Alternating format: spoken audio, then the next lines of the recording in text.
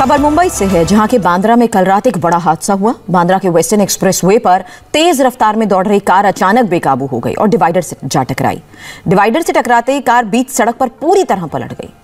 हादसे में कार का ड्राइवर गंभीर रूप से घायल हुआ है। उसे पास के अस्पताल पहुँचाया गया। राहत की बात यह रही कि जिस वक्त ये हादसा हुआ, कार बीच सड़क पर पलटी, उस वक्त पीछे से कोई दूसरी गाड़ी नहीं आ रही थी, वरना हादसा और बड़ा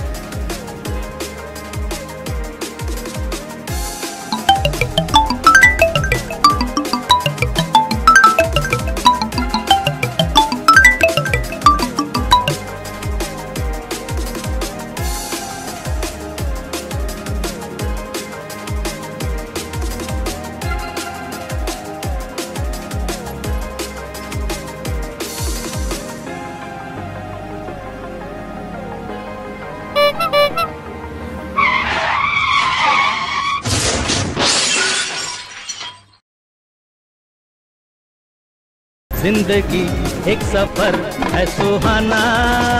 यहाँ कल क्या हो, किसने जाना? ज़िंदगी एक सफ़र है सुहाना। यहाँ कल क्या हो, किसने जाना? हाँ ज़िंदगी एक सफ़र है सुहाना। यहाँ कल क्या हो, किसने जाना?